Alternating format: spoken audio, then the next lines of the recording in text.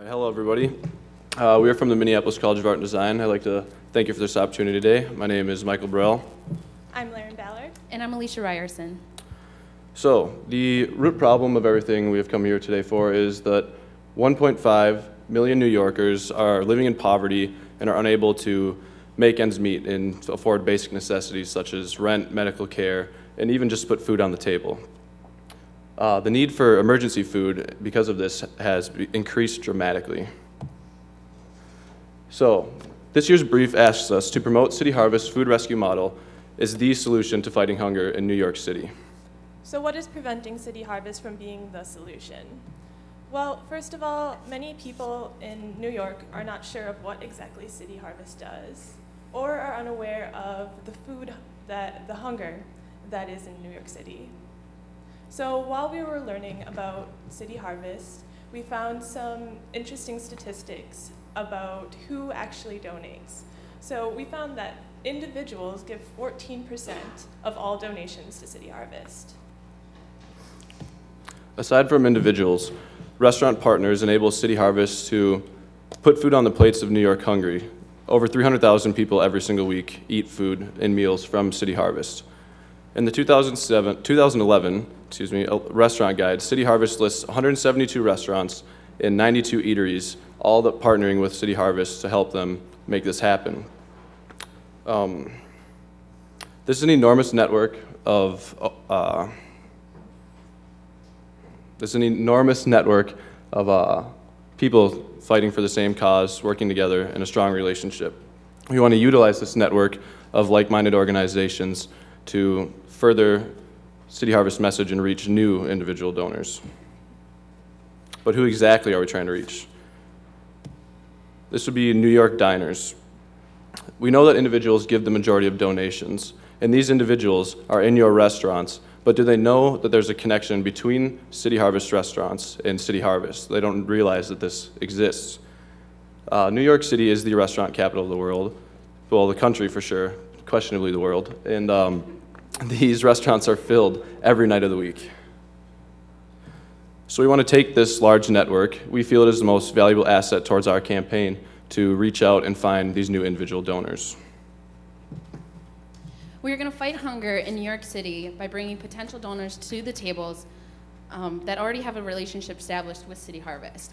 Because chances are people that are eating at these restaurants don't know that they feed more than just their customers.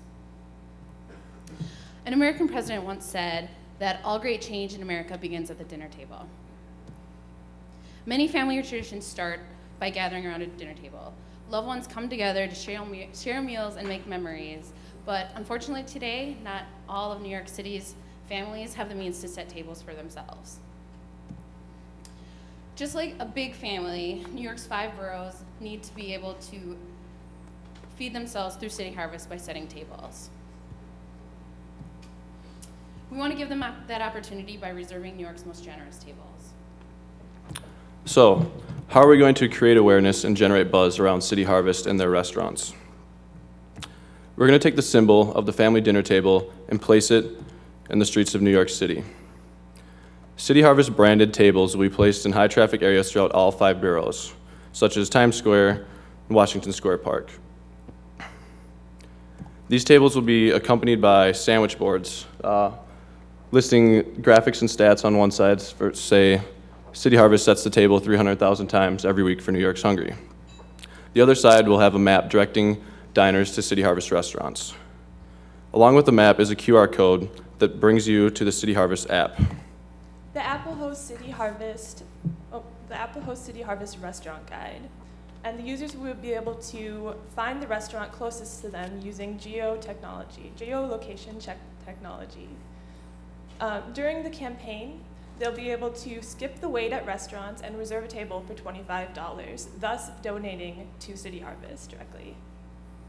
And then, um, based on their location, they'll be able to find, they'll get a list of restaurants in the area, and it'll show uh, the distance to the restaurant, what type of cuisine the restaurant has, uh, along with the address and a website.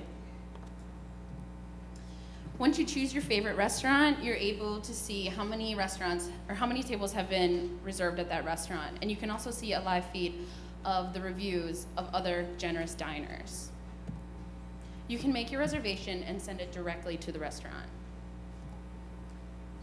This app makes the network of restaurants available to New Yorkers and makes them and gives them the opportunity to, to donate year round. So another way to reserve tables is directly in the restaurant for those who don't have the application. They can go to the restaurant and pay the $25 fee and get seated at one of the City Harvest restaurant tables. Even those who don't have a table still have the chance to donate. The restaurant menus will feature a City Harvest specials menu where all the proceeds go directly to City Harvest. Um, once diners have finished their meal, they'll be presented with their check, and at the bottom of the receipt will be stamped a donation to City Harvest option. This option allows all diners one last opportunity to contribute to the cause, regardless of whether or not they have reserved a table or purchased any City Harvest specials. Uh, During our campaign, City Harvest branded stickers will be provided with all to-go boxes. This will serve just as a simple thank you to diners for choosing to dine at a restaurant that supports City Harvest and their cause. Also, it is a nice message to bring home with them and remind them of what they have done. So, how are we going to measure the success of this campaign? We can easily measure the success and base it off of how many people downloaded the app and how many donations came in through restaurants from uh, specials and receipt donations and also reserved tables. Here's an example of these measurements uh, based off of the reserved tables. So let's say you charge $25 to reserve a table, and you place one table in one restaurant for five nights. For one night, sorry, excuse me.